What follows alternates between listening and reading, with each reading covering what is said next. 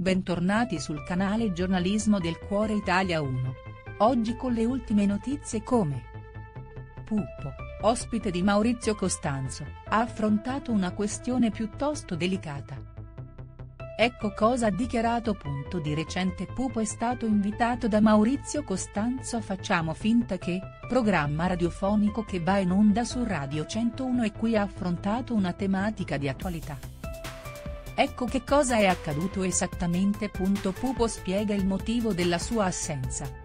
Pupo ha avviato la sua carriera nel mondo della musica nostrana negli anni 70, il suo primo album, Come sei bella, risale al 1976. In quell'anno ha avuto inizio anche la sua carriera di paroliere e compositore. Nel 1980 ha partecipato per la prima volta al Festival di Sanremo con il brano Su di noi che è stato un suo grande successo. L'anno seguente invece, è stato invitato nuovamente sul palco dell'Ariston ma come paroliere con il brano Sarà perché ti amo dei ricchi e poveri. Verso la fine degli anni Ottanta è diventato conduttore ed è stato al timone, insieme a Edvige Fenech, di Domenica In. Due anni dopo è stato alla guida di Il Nuovo Cantagiro con Mara Vernier.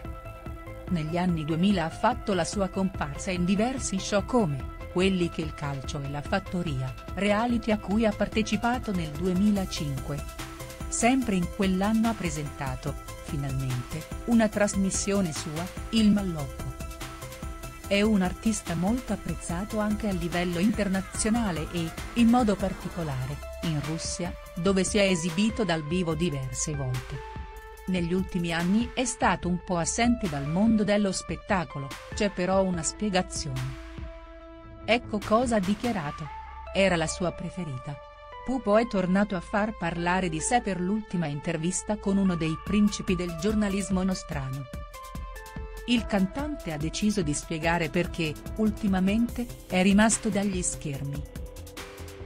Ho deciso di stare un po' lontano dalla televisione e fare i miei concerti perché poi sai mi fanno le domande sulla Russia e io non voglio rispondere ha dichiarato. Il musicista ha precisato di non essere a favore della semplificazione e allora preferisce non prendere parte a programmi televisivi.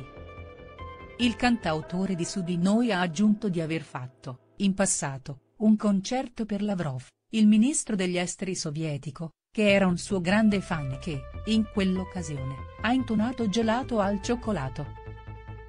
Secondo Enzo Ghinazzi era la sua preferita. Infine l'ospite ha concluso affermando di essere un esperto di cultura popolare russa, ma che qui in Italia non c'è il clima giusto per esprimersi, se non in modo molto semplificato, che a lui non piace.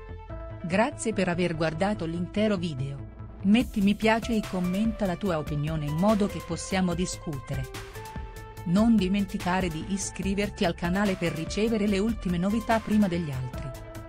Ci vediamo nei prossimi video. Ciao!